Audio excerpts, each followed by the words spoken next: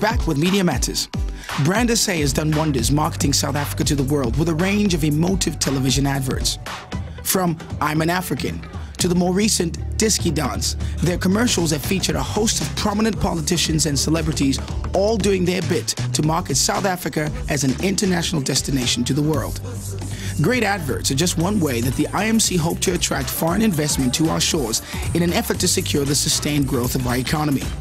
It's a full-time job for an organization whose trustees include the Office of the Presidency, the Department of Trade and Industry, and South African Tourism. Now that the World Cup has come and gone, the marketing of South Africa hasn't stopped. An 18% growth in tourism since the end of the tournament has galvanized the IMC to step up its work and move into an even higher gear. To explain the selling of South Africa, I'm joined in studio by CEO of Brand SA, Miller Matola, and of course, the resident panelist, Groovin Nchabeleng. What is the core function of Brand South Africa?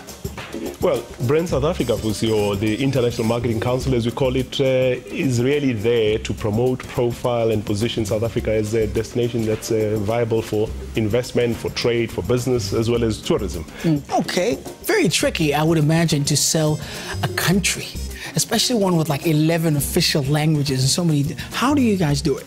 How we do it is really to focus on uh, building the equity internally and also then being able to communicate what this brand stands for. It's important that, uh, you know, as a service brand, you have to build it from the inside out.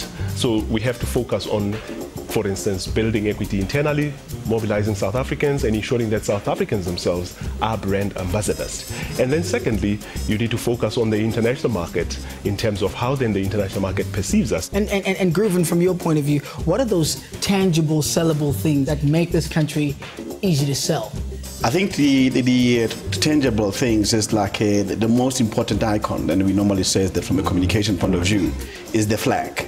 Uh, the flag is a symbol of uniting this particular country and ensuring that and when we can able to differentiate ourselves we've got the most dynamic people um, the moment you come and experience the warmth the culture of the people of south africa um, we can be particularly 100% assured that you will come back.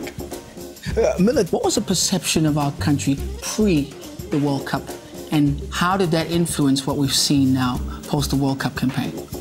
Well, if you uh, remember, just before the World Cup, there were stories about uh, how, how unsafe South Africa is and how unsuccessful the World Cup will be and uh, how people needed to take, you know, precautions that you wouldn't take in any other part of the world. And what all those things were saying is this is not a country to visit, this is an unsafe place, but also that these this country is not capable of staging such an event. And our external facing activities in terms of uh, really branding South Africa were really aimed at those kinds of conversations and changing the narrative about South Africa and saying that's not what South Africa stands for. Give us a picture of what, what kind of investment was made to make sure that we would have the successful campaign going into the World Cup and are we seeing any returns? Well, firstly, we've made uh, quite a significant investment as a country into the event itself. But if you think about it, the investment that's been made is investment that's going to really sustain future economic growth. So it's not an investment that was time bound, bound to the event itself. Uh, whether it's in rail, it's in transportation infrastructure, it's in all other infrastructure that we put uh, on the ground, that will be utilized for growing the economy. But if you look at uh, the almost direct impact of the event and how it shifted perceptions, whether it's the, in the investor community, for instance. You will have, uh, you might be aware that uh, during the uh, event itself, there was a significant increase out of the USA, out of the UK in uh, mergers and acquisitions in South Africa. Oh, yes. Now, that in itself shows that the spotlight being on South Africa does trigger something amongst the investor community. And uh, subsequent to that, I suppose it's no you know, uh, stroke of luck that we would have seen now the interest in HSBC in South Africa. You would have seen the Japanese as well interested in, uh, in you know, making acquisitions in South Africa, and more recently also uh, Walmart interest in uh, Massmart. So uh, while we are not saying these are the direct spin-offs of, of the World Cup, we believe that there is a level of correlation because if a country's reputation is positive and it's seen positively, even from an investment point of view, people would then look at the country differently. You've had favor in, in, in, the, in Asia. Obviously, we joined you recently when you were at the World Expo in Shanghai. Tell us about that campaign and what came of it. Well, I think uh, that's uh, another one of those uh, uh platforms where we were able to position South Africa very positively in the uh, Chinese market. I mean, there's huge interest in uh, China from South Africa point of view, but also on the continent in terms of trade and investment. And the Shanghai Expo actually gave South Africa the opportunity to showcase what the country is about. Is about.